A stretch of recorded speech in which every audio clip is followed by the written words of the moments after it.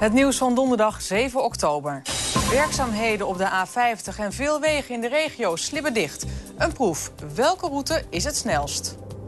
Ik ga de file induiken op de A50, die enorm tergend langzame file daar. Geef ons 5 miljard en het platteland blijft leuk, economisch interessant en bevolkt. Tien plattelandsgemeenten trekken aan de noodbel. Heb je nog wat restjes avondeten over? Zet het op internet en er is altijd wel iemand in de buurt die bij je aanschuift.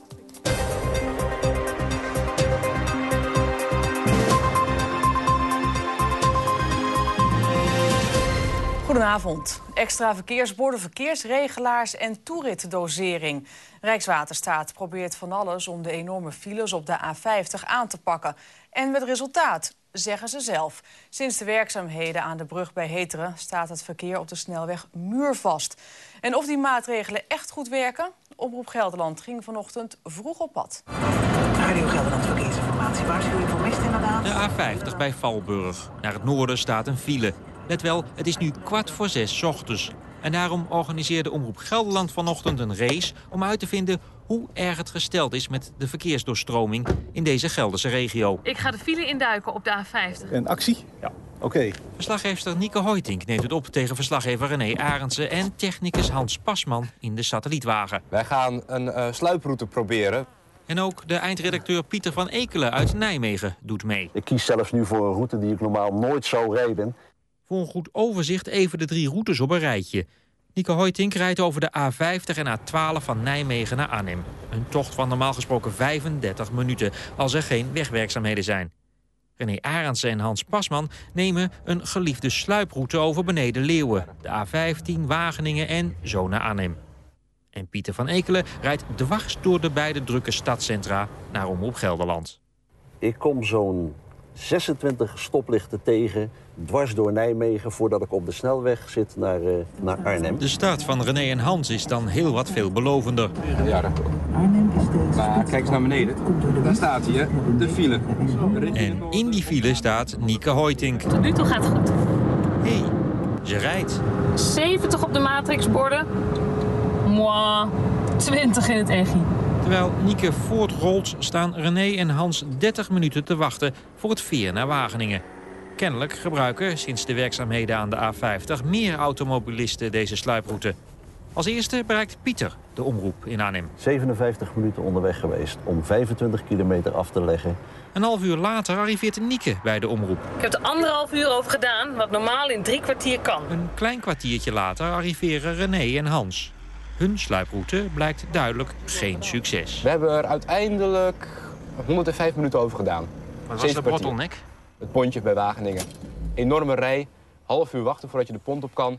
Ja, en daar gaat het mis. Conclusie, ga in de ochtendspits rustig een uurtje eerder van huis... om op tijd op het werk te zijn. 5 miljard is er nodig om leegloop van het platteland tegen te gaan... en om voorzieningen te behouden. Dat vinden tien plattelandsgemeenten die vandaag een actieplan presenteren. Het platteland stroomt langzaam leeg, voorzieningen verdwijnen... en sommige dorpen dreigen slaapdorpen te worden. In Hoogkeppel is de tegenaanval ingezet. Dorpsbewoners hebben zelf de basisschool opgeknapt... zodat de school blijft. Anders was er niks meer in het dorp. We zijn natuurlijk al een aantal voorzieningen kwijtgeraakt. Zoals een, uh, een bank en een restaurant en een supermarkt. Ja, en toen het dreigt het zover te komen dat de school zou vertrekken... ja, dat zouden we wel heel erg vinden. Want het is natuurlijk een school, maar het betekent ook een plek in de samenleving... voor Koninginnedag en volksfeesten. En dat zou dan ook allemaal komen te vervallen. Dus daar wilden we ons wel hard voor maken, samen met de inwoners. Als de school er niet was geweest in Hoogkeppel, wat zou het dan voor dorp zijn? Nou, een doodsbejaardendorp, denk ik, ja. Uh, dan moeten de kinderen naar school, naar de stad...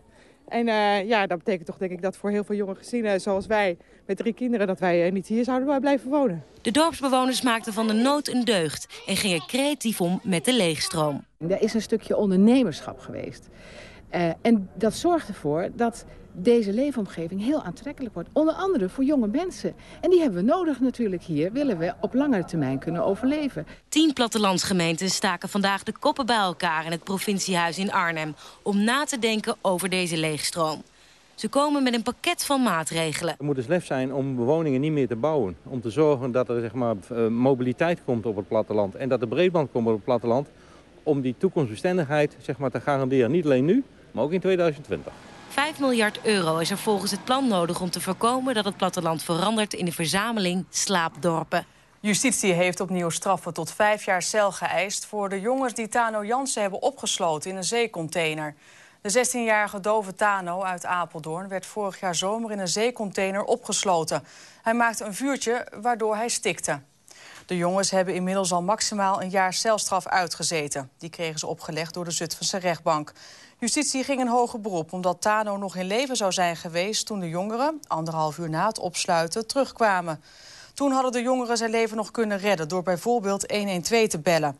Maar een deskundige heeft nu in het hoger beroep gezegd... dat Tano al was overleden en dat hulp te laat zou zijn gekomen. Toch eist de justitie hogere straffen tegen de vier jongens die Tano hebben opgesloten. Een 16-jarig meisje dat bij de zaak betrokken was... mag vrij uitgaan van justitie.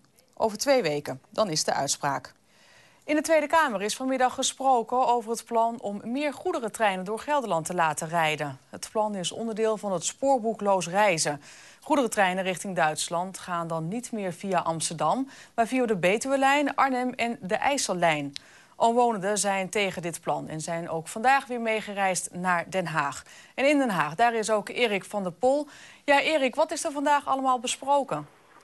Wat er vooral besproken is, dat zijn de protesten die al die mensen hebben laten horen uit het oosten des lands. Al die mensen die langs de IJslijn wonen en langs de Twentelijn wonen, hebben natuurlijk protestbijeenkomsten gehouden. Ze hebben uh, mailtjes gestuurd. Uh, de CDA-woordvoerder die zei, ik heb de afgelopen weken meer mailtjes gehad over de IJssellijn dan over de kabinetsformatie. En dat zegt wel wat over hoe het in dat deel van het land leeft. En het heeft zin gehad, want al die protesten, uh, elk Kamerlid uh, begon ermee te zeggen dat het kan niet zo zijn dat uh, de overlast waar die mensen voor vrezen, dat die inderdaad daar terecht gaat komen. Je weet het, hè, in al die treinen die weg moeten in het drukke westen, omdat daar elke tien minuten een personentrein moet gaan rijden, die gaan rijden over de IJssellijn. Uh, nou, als al die treinen daar uh, komen, dan wordt het voor drie, voor viervoudig ten opzichte van nu. En al die inwoners die vrezen uh, voor trillingen, voor geluidsoverlast, voor veiligheid, gevaarlijke stoffen die door de gemeente komen, spoorbomen die dicht blijven. En dat kan niet, zeggen zij, want dan is het gedaan met de leefbaarheid in het oosten des lands. En veel Kamerleden die zeiden, ja, dat mag niet gebeuren, minister. Daar moet u naar kijken. Dus als wij doorgaan met deze plannen, en dat willen wij allemaal, dan moet er dus wel wat gebeuren.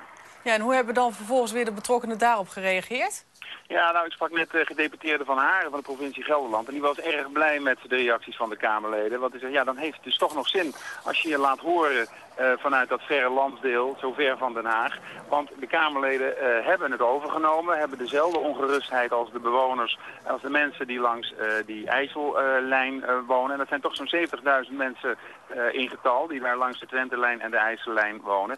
En al die mensen die hebben zich laten horen, de Kamerleden hebben er wat mee gedaan. En tot 2012 kan er gekeken worden of er geld bij moet, of er maatregelen genomen moeten worden en of er misschien zelfs nog varianten mogelijk zijn, zodat het misschien uiteindelijk toch nog mee gaat vallen met die overlast in het oosten des lands. Erik van der Pol vanuit Den Haag, dankjewel. Geen zin om te koken en ook geen zin in een bezorgpizza. Vanaf zondag kun je via de site tweetjemee.nl een maaltijd kopen of verkopen. Alleen tweetje mee of tweetje mee, dat lijkt volgens Twitter te veel op elkaar. Een vrijmarkt op internet voor eters en kokers. Zo noemen de initiatiefnemers van tweetjemee.nl de site. Maar net Zelenberg uit Culemborg kwam op het idee. Heel veel mensen die kunnen ook helemaal niet koken. Die zullen hier heel erg blij mee zijn als ze van mijn uh, spaghetti van Manetti kunnen meeeten. Het idee. Iemand biedt eten aan op internet, in zijn internetrestaurant, een webtorrent. Een ander die zin heeft in lekker eten... zoekt op die site een lekkere maaltijd uit in de buurt. Jan is, mijn oudste zoon, die kan heel goed uh, appeltaarten bakken. En die uh, wil voor tweetje mee elke week een appeltaart bakken. Dus hij publiceert in zijn webtorrent dat hij elke woensdag een appeltaart bakt. Maar het initiatief uit Culemborg is ook opgemerkt door het Amerikaanse internetbedrijf Twitter. En die vindt het niet zo'n leuk idee. De site Tweetje mee, dat lijkt toch iets te veel op tweet. De naam voor de korte berichtjes op de Twitter-site. Eentje mee was al bezet. Toen dachten we tweetje mee. Het is ook nog een term in de horeca voor een tweepersoonstafeltje. Nou, hartstikke leuke naam. Klinkt leuk, knipoog naar internet. Appeltje, eitje, dachten wij. Twitter heeft een mail gestuurd waarin ze zeggen dat de Nederlandse ondernemers een andere naam moeten bedenken voor hun bedrijf. Zedenberg heeft informatie ingewonnen bij juristen. De kans dat we dit verliezen is 50% winst, 50% verlies. Dus ja, ik vind het, weet je, druist, zo tegen mijn rechtsgevoel in. Dat uh, een leuk initiatief met een, met een knipoogje misschien naar Twitter, dat dat al... Ik vind het allemaal, ik vind het ja, imperialisme. Maar de Culemborgse gaat door. Ja, we gaan gewoon door. Ik zit hier met 30.000 servetten, weet ik veel hoeveel ansichtkaarten. De auto's worden beletterd. We gaan gewoon door. Een wedstrijd met doodskisten bracht twee pleegzussen na jaren weer bij elkaar. Zometeen het opmerkelijke verhaal. Medisch specialisten van het Radboudziekenhuis hebben vandaag actie gevoerd. Ze hebben geprotesteerd tegen de plannen van minister Klink om hun inkomens te verlagen. Ook in Harderwijk, Doetinchem, Tiel en Ede werd geprotesteerd. De gevolgen voor patiënten waren gering, spoedgevallen werden behandeld en afspraken waren verzet. Acteur en zanger Anthony Kamerling is overleden. De in Arnhem geboren Kamerling werd bekend door zijn rol in de soapserie Goede Tijden, Slechte Tijden. Daarna speelde hij in films en in het theater. Kamerling heeft zelf een einde aan zijn leven gemaakt. Hij laat zijn vrouw en twee kinderen achter. Anthony Kamerling is 44 jaar geworden. De politie heeft vanmiddag een gewonde man bij station Arnhem-Velperpoort gevonden. De man lag op de grond aan de Sonsbeekzijde. Hij is met onbekende verwondingen naar het ziekenhuis gebracht. Wat er precies is gebeurd is nog onduidelijk. De politie zoekt getuigen. De Arnhemse voetballer John van Beukering maakt vrijdag toch niet zijn debuut voor het Indonesische elftal. Van Beukering is al in Jakarta en heeft ook meegetraind met Indonesië. Maar hij blijkt niet te beschikken over een Indonesisch paspoort. Van de FIFA mag de speler dan niet in actie komen. Als de gemeente Oost-Gelre het huishoudboekje niet op orde krijgt... dan dreigt preventief toezicht van de provincie Gelderland. Dat betekent dat die de geplande uitgaven controleert. Aanleiding is het verwachte begrotingstekort van 5,6 miljoen euro... dat in 2011 dreigt. Leerlingen van het Christelijk Lyceum in Apeldoorn... hebben de vliegramp in Apeldoorn van 64 jaar geleden herdacht. Daarbij kwamen toen 22 leerlingen om. In het bijzijn van burgemeester De Graaf legden leerlingen kransen... bij het monument op de begraafplaats aan de Soerense Schaatser Marianne Timmer uit Hierde heeft in Arnhem het eerste professionele vrouwenschaatsteam gepresenteerd. De Hierdense wordt met drie andere schaatsers gecoacht door Peter Kolder. Ik denk dat er ook dit jaar een NK Indoor Atletiek hier kan plaatsvinden in Apeldoorn. Waar ook tijden neergezet kunnen worden die ook officieel erkend gaan worden. Het NK Indoor Atletiek in het Apeldoornse Omnisportcentrum gaat toch door. Het toch, eh, dat is na overleg met de Nederlandse Atletiek Unie besloten. De buitenste twee hardloopbanen lopen in de bochten te stijl op... waardoor in die banen records niet worden erkend. De binnenste vier banen zijn wel goedgekeurd. Een stel uit Tiel is betrapt op het plegen van uitkeringsfraude. De twee ontvingen anderhalf jaar lang ten onrechte een bijstandsuitkering. Het gaat om een bedrag van 22.500 euro. De gemeente Tiel gaat het bedrag op het paar verhalen. Het nieuws uit Gelderland. Zeven dagen in de week. Kritisch, objectief en betrokken. Winkeldieven in Ede zijn gewaarschuwd. Vanaf vandaag krijgen ze een dubbele boete als ze worden gepakt. Niet alleen de boete van justitie, maar ook standaard een boete van 151 euro. En dat geld gaat naar de gedupeerde winkelier.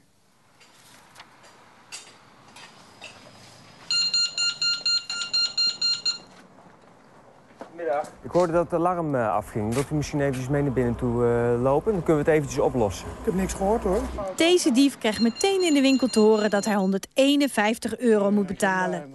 Niet om de kosten te vergoeden van zijn diefstal, maar als tegemoetkoming voor de winkelier. Uh, voor het oponthoud van de winkeldief in de winkel. Voor de ondernemer de kosten die hij maakt. En dat gaan we verrekenen bij de winkeldief. De extra boete is een stimulans voor de winkeliers om vaker aangifte te doen. Het is een beetje een pleister voor de wond, maar de tijd die je er aan eh, kwijt bent... heb je dan in ieder geval dus toch wel een eh, vergoeding eh, voor.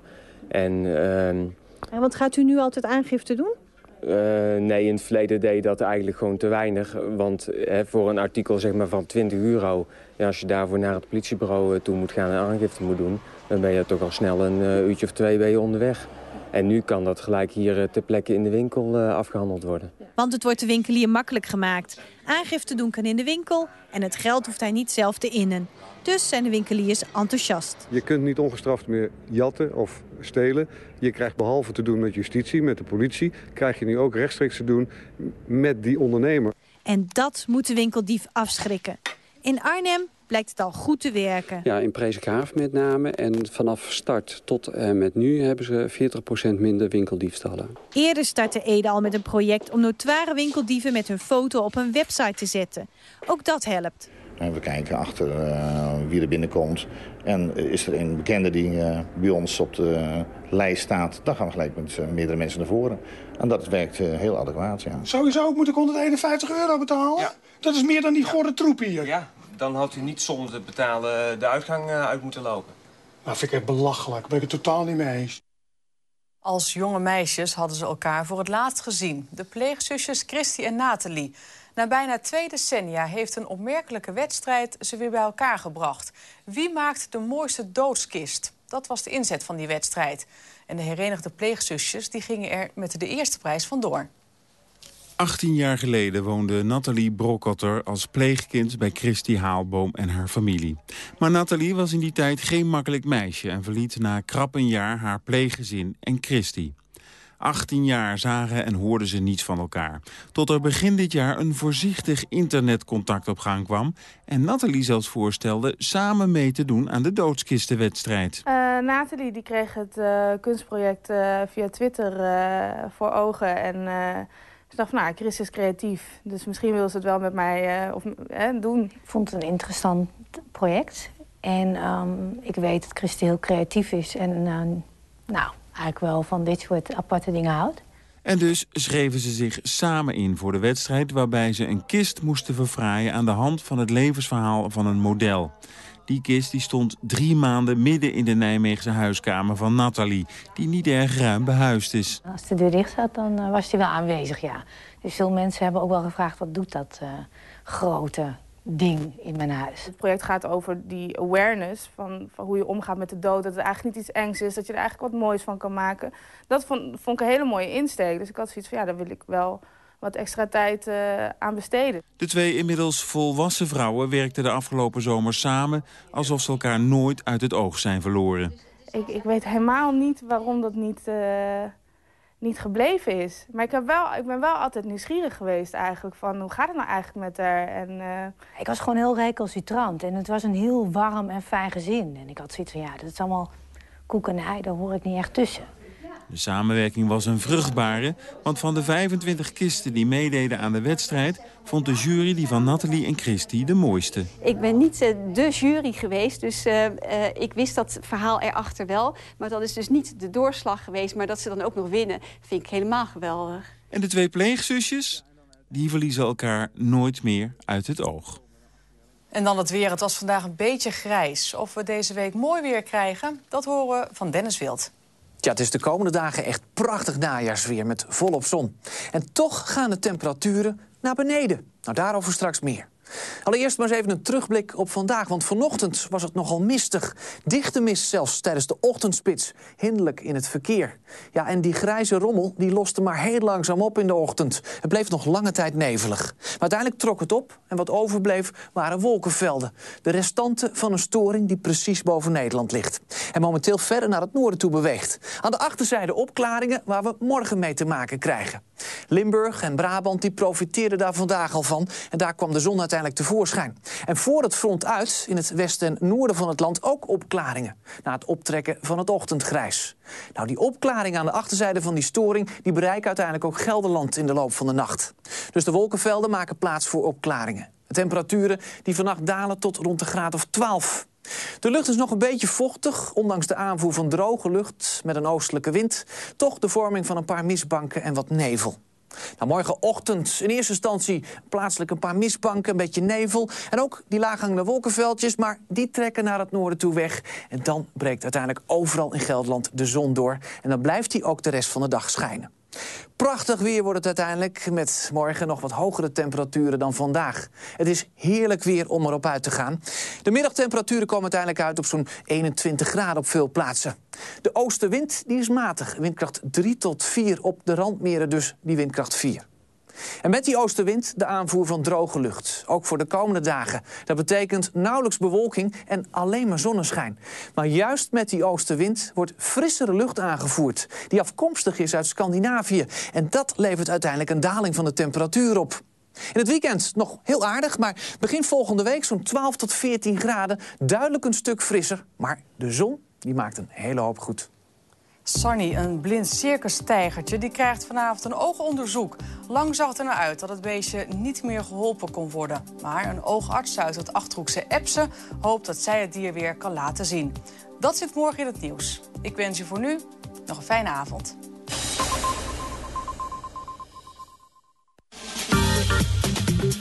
Zometeen weer